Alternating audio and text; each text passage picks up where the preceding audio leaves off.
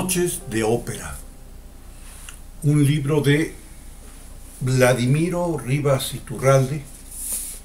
30 años, treinta y tantos años de ensayos y reseñas, crónicas y apuestas y reflexiones en la colección Imágenes del Tiempo de la Universidad Autónoma Metropolitana, plantel Las Capozalco. Es un libro realmente muy inquietante, muy sorprendente y que claro nos hace preguntarnos, bueno, ¿qué sentido tiene publicar un libro con crónicas de ópera? ¿A quién le importa la ópera? Pero hay un enorme público de ópera, hay una gran tradición de ópera en México, hay grandes conocedores y sobre todo hay grandes cantantes mexicanos eh, distribuidos por el mundo entero que en este momento deben estar seguramente ensayando o cantando en algún eh, foro importante. México ha sido por antonomasia desde el siglo XIX un espacio fundamental para, la, para las grandes compañías de ópera y desde luego para los grandes cantantes. Así justamente nos lo consigna Vladimiro Rivas en, eh, su artículo sobre eh, la Calas en México. María Calas es, eh, pues es claro, yo creo que es la gran diva de la ópera, de, pues no de todos los tiempos, pero sí del, del siglo XX, ¿no? Y María Calas, nos cuenta Vladimiro Rivas, Llegó por primera vez a México el domingo 14 de mayo de 1950. Presentó ese año cuatro óperas, Norma de Bellini, Aida de Verdi, Tosca de Puccini y El Trovatore de Verdi. Y luego en 1951 vuelve a México y canta Aida, La Traviata de Verdi y Puritani de Bellini. Y en el 52 canta de nuevo La Traviata Lucía de la Mermur de Donizetti, Rigoletto de Verdi y Tosca de Puccini. Tres visitas que hace la María Calas a México y para muchos eh, que tuvieron el privilegio de verla y sí nos rayó Vladimiro Rivas Iturralde, que no pudo haber estado allí en esas presentaciones de la María Calas en el Palacio de Bellas Artes, pero sí nos lo consigna, ¿no? Vladimiro Rivas, que la presencia de María Calas en México fue extraordinaria y fue desde luego el espacio, eh, el, el, ambiente propicio para su consolidación en el universo de la ópera.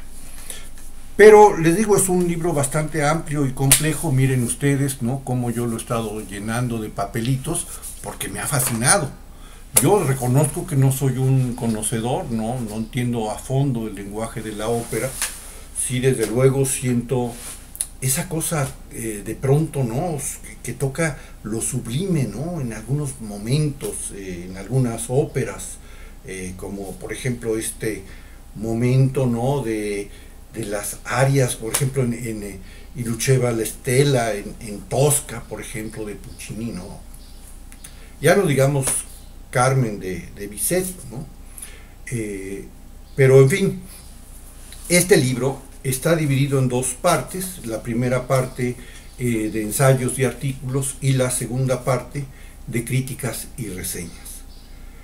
En la primera parte eh, vemos incluso este espíritu didáctico eh, sobre en donde a lo largo de varios artículos y ensayos nos va orientando, nos va ayudando a que entendamos ¿no? Ese, ese lenguaje de la ópera y también incluso nos habla de sus predilecciones, de sus reflexiones sobre lo que es eh, eh, el mundo de la ópera a través de sus ejecutantes, los grandes cantantes. Tiene un capítulo muy bueno sobre eh, donde reflexiona sobre los, las características de los cantantes mexicanos, da algunas hipótesis de por qué hay tan buenos y tantos tenores y, sopranos nacidos en México, que andan por todo el mundo. Quizá el ejemplo ahorita más claro pues sea el de Rolando Villazón, que además es eh, igual, es un, un cantante que al mismo tiempo es histrión, hasta hace de payaso a veces, ¿no? Es un tipazo Rolando Villazón con una voz extraordinaria y, desde luego Camarena, que Camarena es reconocido como el tenor entre los tenores, ¿no? Y por ahí incluso en una de sus eh, reseñas de la ópera, habla de, eh, del debut en Bellas Artes de, de, Eduardo Camarena y justamente dice, se les, le auguro un gran futuro a este tenor. Y sí, desde luego que junto con Araiza, con Fernando de la Mora, ¿no? Podemos decir es que y estamos, estoy diciendo tres, pero hay una cantidad enorme de, tenores y desde luego de, sopranos mexicanas también, ¿no? Como Lidia Gorra, por decir un solo nombre. Ahora, claro, la, gran duda es, ¿quién va a consultar este libro entonces, como yo mencionaba al principio? Desde luego, la, gente que se dedica a la ópera, este, este es un libro de consulta absolutamente necesaria pero también como nos introduce al mundo de la ópera a nosotros los legos. Yo creo que es un libro que, nos abre ese panorama. El mismo, fíjense, el mismo Vladimiro Rivas nos cuenta, dice, la música vocal, particularmente operística, me resultaba extraña en mi adolescencia. Llegué incluso a detestarla. Escuchar a una soprano cantando agudos y sobreagudos en escenas extremadamente dramáticas me resultaba una experiencia irritante. La frontera entre el canto y el grito era indistinguible. Sin embargo, claro, por su vocación musical, por su, su pasión melómana, que también lo va eh, mostrando, en, sobre todo en un primer en un primer artículo sobre su discomanía, por decirlo de alguna manera, eh, lo hace, lo lleva necesariamente a ser un gran conocedor de la, de la ópera. Y entonces, pues bueno, realmente, eh, aparte de que está muy bien realizado, ¿no? prácticamente no encontramos algún, aunque sí por ahí algún acento que se brinca, pero no encontramos defectos ¿no? en el diseño del, libro, que es muy bonito muy agradable, eh, e incluso en un formato grande, ¿no? no es un formato pequeño, que permite una lectura más ágil, desde luego. Este, pero yo le pondría, pues, qué, decir, dos, dos grandes eh, defectillos.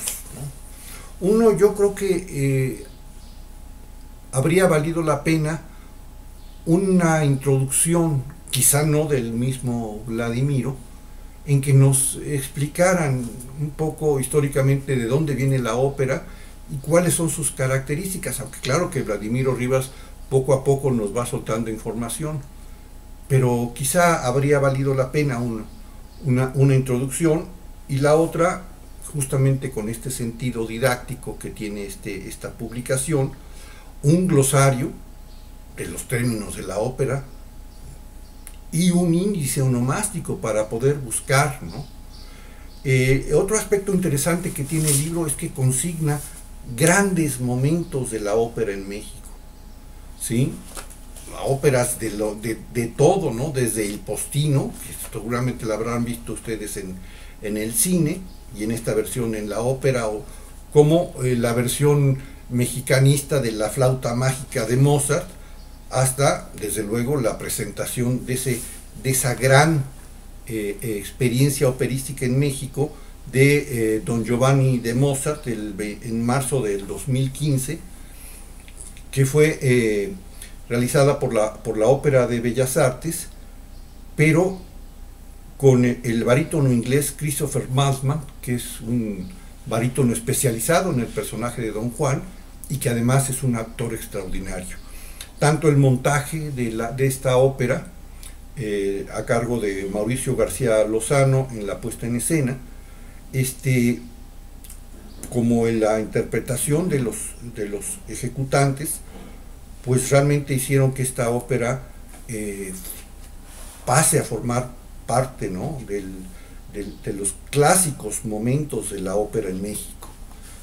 Y entonces, pues hombre, de veras, introduzcanse al mundo de la ópera y pidámosle al profesor Vladimiro Rivas que vuelva otra vez con sus sesiones de ópera como en la ópera, creo que era los martes a la una de la tarde en uno de los auditorios de la Guamas Capozalco.